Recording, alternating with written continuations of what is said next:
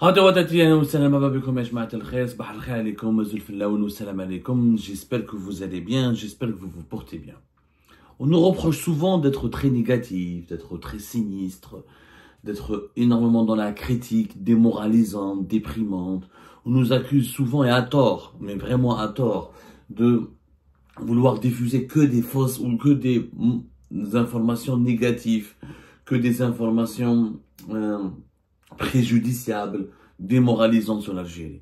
Et jamais assez d'informations positives qui remontent un peu le moral, ni de bonnes nouvelles. On nous appelle quelquefois des oiseaux de mauvaise augure, ce qui est un procès totalement injuste.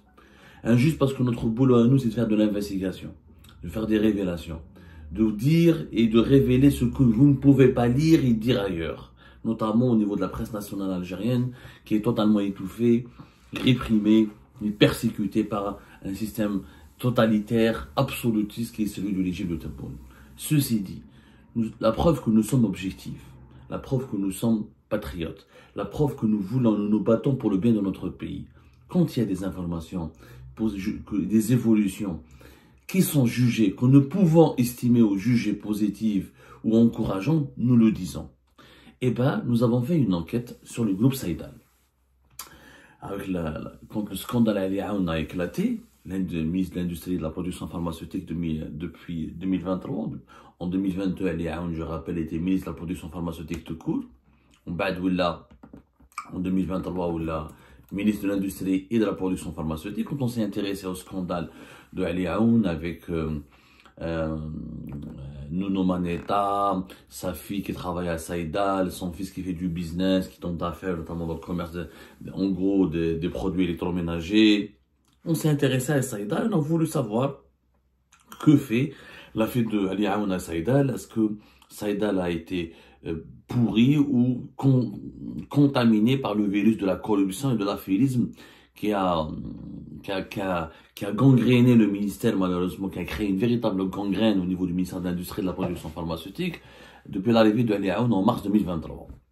Je rappelle que Aoun, en septembre déjà 2022, était ministre de la production pharmaceutique. Et bien, nous avons été étonnés d'apprendre, au cours de notre enquête, que les Saïdal est devenu aujourd'hui une lueur d'espoir. Ce groupe public de, de, production de médicaments, de produits pharmaceutiques, il existe depuis 1982. Je rappelle que Saïdal, c'est plus de 3000 employés. C'est quand même pas rien. Ça a toujours été l'un des espoirs de la modernisation industrielle du pays.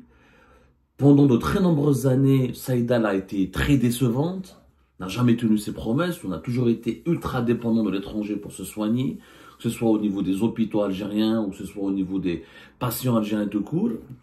Saïdal n'a jamais été satisfaisante, faut dire la vérité. D'ailleurs, sa privatisation, son rattachement à un groupe étranger, sa fermeture à un moment donné, elle a été évoquée. Et bien cette fois-ci, Saïdal est en train de cartonner.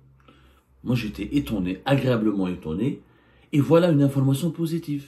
C'est possible d'avancer en Algérie. Alors, le groupe Saïdal, depuis avril 2023, depuis début 2023, par rapport entre 2023 et 2022, son bilan, nous avons accédé à des informations détaillées parce qu'on a voulu enquêter.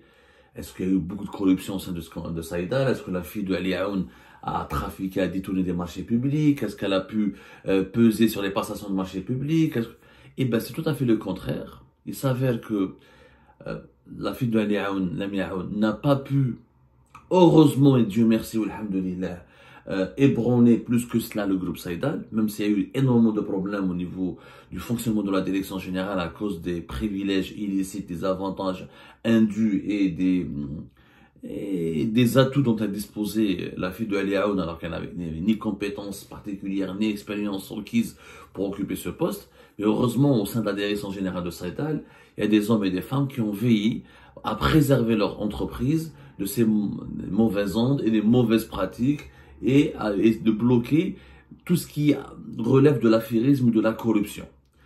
Et il y a eu une stratégie très importante pour la part de la part de Saïdal depuis 2023 qui a mené vers une véritable relance de ce groupe et qui a permis à Saïdal d'obtenir les meilleurs, ses meilleurs résultats depuis sa création en 1982. La preuve, entre 2023 et 2022, les activités de Saïdal ont évolué de 50%. une évolution de 50% entre 2022 et 2023. Aucune entreprise algérienne, privée ou publique, n'a réalisé ce, ce, ce, n'a pu, ne peut se targuer d'une telle réussite, n'a réalisé cet exploit. 50% d'évolution des activités de production et des chiffres d'affaires et des activités commerciales de Saïdal entre 2022 et 2023. Dans les détails, en 2023, Saïdal a réalisé un chiffre d'affaires de 19,6 milliards de dinars. 19,6 milliards de dinars, c'est l'équivalent de 150 millions de dollars. 19,6 milliards de dinars avec un résultat, un bénéfice net de 1,7 milliard de dinars. 1,7 milliard de dinars, c'est un bénéfice de 13 millions de dollars.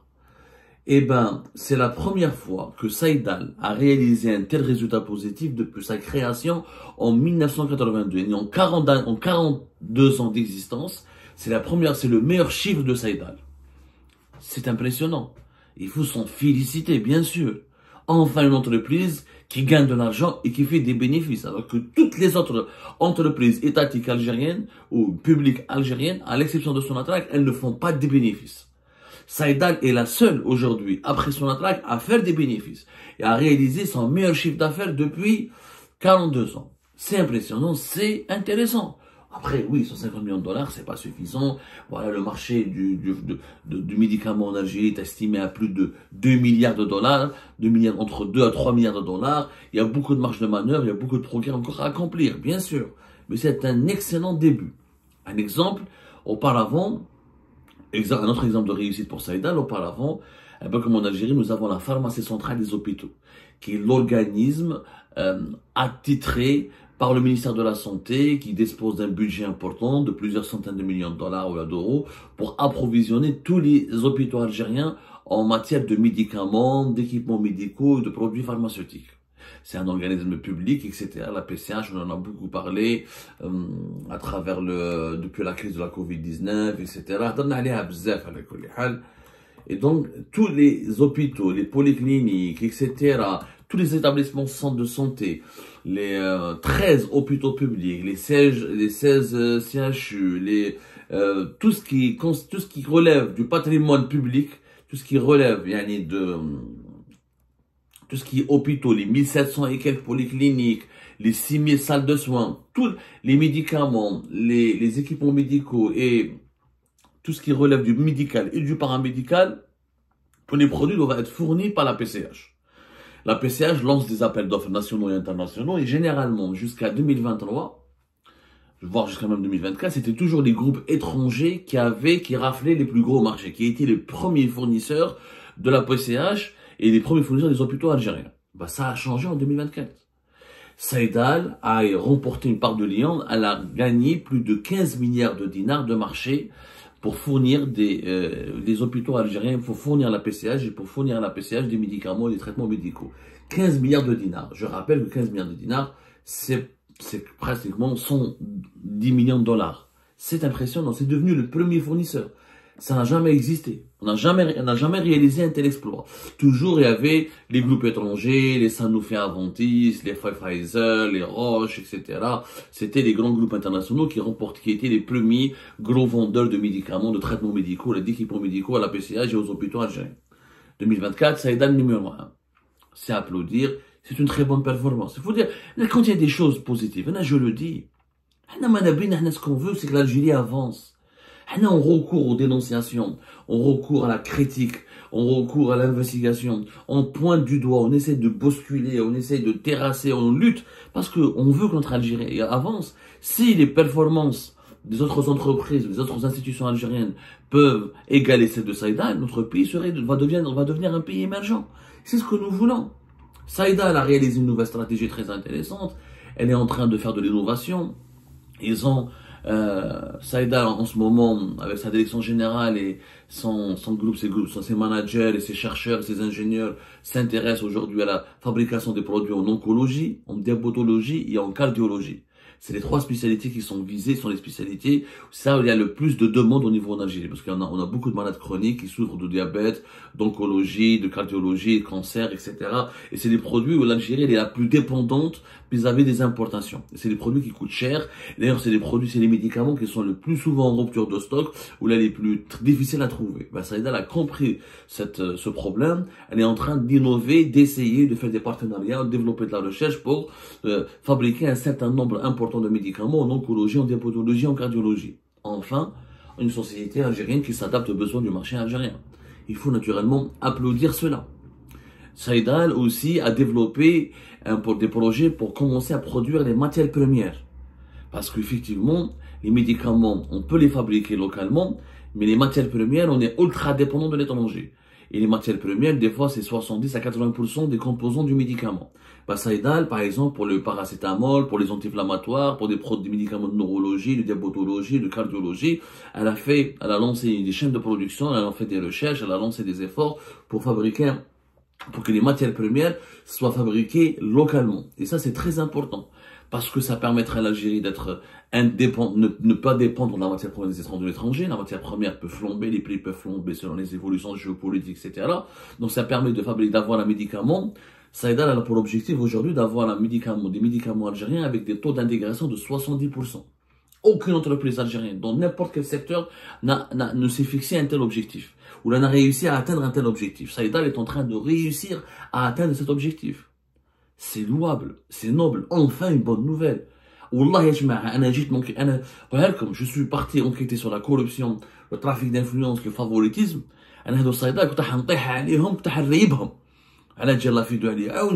Je découvre notre réalité. Je découvre, voilà, pour vous dire, on est honnête on ne veut pas forcément dire du mal de notre pays. Quand il y a des belles choses, on le dit. J'ai découvert de belles choses, je le dis. Par exemple, les projets de Saïda qui ont été lancés sont tous euh, certifiés. Les usines de Saïda actuellement sont certifiées euh, avec conforme aux normes américaines. On appelle ça USFDA. C'est une certification qui confirme le respect des normes sanitaires et des normes de production fixées par les autorités américaines, ce qui permet à Saïda d'exporter là où elle veut puisque ces médicaments seront, ces produits sont conformes aux certifications américaines. Donc il n'y aura pas de problème pour accéder à des marchés euh, étrangers, etc. C'est magnifique. Grâce à cette nouvelle stratégie, Saïdal veulent, à partir de, entre 2024 et 2025, ils veulent dépasser un chiffre d'affaires de 23 milliards de dinars. 23 milliards de dinars, je rappelle, comme la conversion, on va parler en euros, c'est plus de 170 millions de dollars. C'est encore une fois le meilleur résultat que pourrait atteindre Saïda depuis 42 ans d'existence.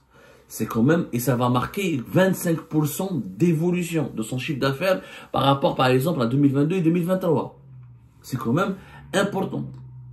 Rien qu'avec la PCH, par exemple, la, la, euh, euh, Saïda, elle, elle vise à remporter 35 milliards de dinars de marché allant à, court et à moyen terme, ce qui va marquer une évolution de, 20, de, de, 50%. Ça, c'est pour les objectifs de 2025. Et, ils, se sont fixés des objectifs, ils se sont objectés, ils se sont fixés des, des, des, des, véritables, hein, de, de véritables, comment dirais-je, une véritable stratégie, des orientations. Les exportations, par exemple, elles sont à pratiquement euh, euh un million de, presque un million de dollars. C'est pas suffisant, bien sûr, mais ça va, ça va, ça va, ça va, ça va s'améliorer avec le temps. Les Saïda, elle veut aller plus loin, parce qu'elle a déjà une possibilité de, comment dirais-je, de satisfaire, elle a déjà l'obligation, la mission première, la priorité de satisfaire le marché national, mais déjà, à partir de 2024-2025, elle veut dépasser le 1 million de dollars d'exportation, et donc elle veut aller vers les marchés internationaux à partir de 2025, et ça avance bien. Saïda est en train d'avancer bien. Des, un objet, des objets, des, des médicaments qui vont atteindre 70% de taux d'intégration. Un chiffre d'affaires qui augmente euh, les activités, une évolution de ces activités de production et commerciale de 50%, un chiffre d'affaires qui en 2025 va augmenter de 25% par rapport à 2023.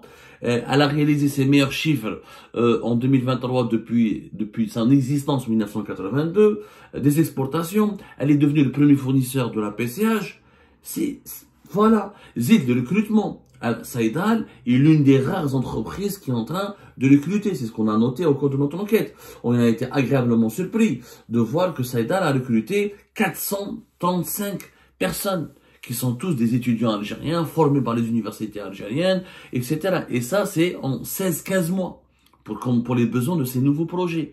Enfin, une entreprise qui recrute. Alors que les autres entreprises publiques ou les notes privées, etc., recrutent au compte-goutte. Vraiment au compte-goutte. J'ai fait mon enquête, je n'ai trouvé aucune entreprise. On parle pas de son attraction Son parce que c'est un immense groupe. C'est, son c'est presque 200 000 travailleurs. C'est une centaine, plus de 150 filiales. Donc c'est, c'est, c'est hyper, euh, son attract, elle a beaucoup de filiales. Mais Saïdal, ou Hadha, elle a recruté 435 personnes en une année et demie. C'est impressionnant. Il y a eu des augmentations de salaire les, employés de Saïdal ont bénéficié en deux ans de pratiquement 24% d'augmentation de salaire. En sept ans, en sept ans, huit ans, les salariés de Saïdal n'ont jamais touché autant d'augmentation. Donc, il y a une véritable dynamique au sein de Saïdal. Cette dynamique est un exemple. Voilà ce que nous voulons. Allez, pourquoi je me bats? Moi, je me bats pour que mon pays se dote d'entreprises qui réalisent de telles performances.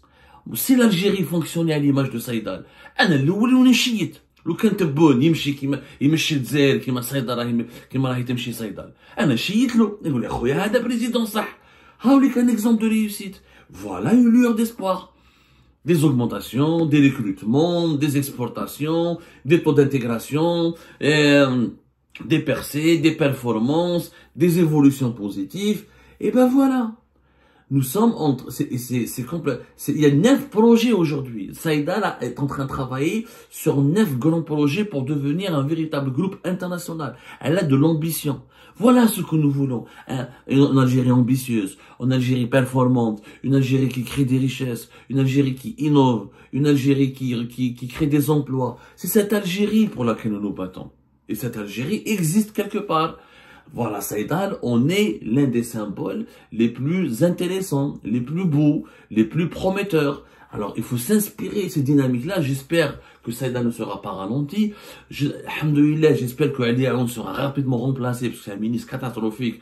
Et heureusement que les managers, que les responsables, que les ingénieurs de Saïdal ont su préserver Saïdal contre les conséquences désastreuses des pratiques de corruption, d'affairisme, de népotisme de Ali Aoun. Mais il faut absolument continuer à soutenir Saïdal. Il faut croire que Saïdal, il faut qu'elle devienne un exemple. Il faut que d'autres entreprises publiques et privées algériennes se dotent de la même, se dotent de stratégies et mise sur l'innovation, la, développe la culture de l'effort pour aller de l'avant à la fois pour couvrir les besoins du marché national, ensuite pour aller vers des exportations et devenir des entreprises modernes. La réussite en Algérie, elle est possible. Elle a juste besoin de conditions qui sont la rigueur, la stratégie, l'ambition, la rigueur, la stratégie, l'ambition et le soutien des pouvoirs publics. Bah, moi, je même pas le soutien. Que les pouvoirs publics ne mettent pas des obstacles les Algériens, les Algériens, ils sont capables de réussir. On a des bons managers, on a des bons ingénieurs, on a des bons entrepreneurs, ils ont juste besoin d'un climat d'affaires favorable et que les pouvoirs publics ne leur mettent pas des obstacles. Mais devant des problèmes, et les enquêtes, les redressements fiscaux, les lois qui changent, l'instabilité réglementaire, euh, des services de sécurité qui vont les raqueter, ou là, je sais pas, laissons les Algériens les Algériens travailler et on aura de bons résultats. Saïdal, on est une parfaite illustration. Voilà une lueur d'espoir. Je voulais partager avec vous cette information positive. Ça peut nous remonter le moral. L'Algérie, elle peut avancer, elle peut progresser. Il faut travailler dur et y croire. Il faut surtout laisser les compétents et les personnes qui ont du savoir, des compétences, qui ont de l'ambition. Il faut les laisser travailler et progresser.